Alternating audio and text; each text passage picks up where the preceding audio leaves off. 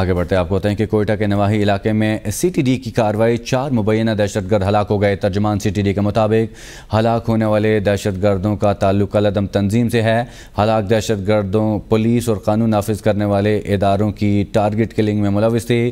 दहशत गर्दों से खुद कुछ जैकेट, पाँच दस्ती बम, धमाका खेज मवाद समेत दीगर ममनू अशिया बरामद की गई हैं।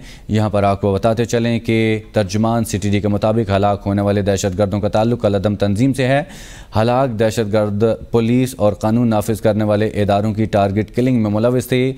दहशत गर्दों से खुदकुश जैकेट, पाँच दस्ती बम, धमाका खेज मवाद समेत दीगर ममनू अशिया बरामद की गई हैं।